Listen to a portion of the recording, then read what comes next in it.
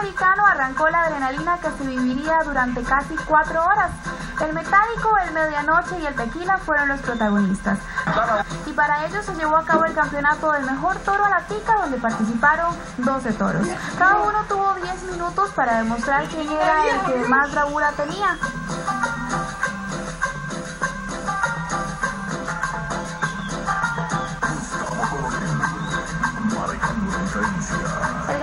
fue el Malacagüite.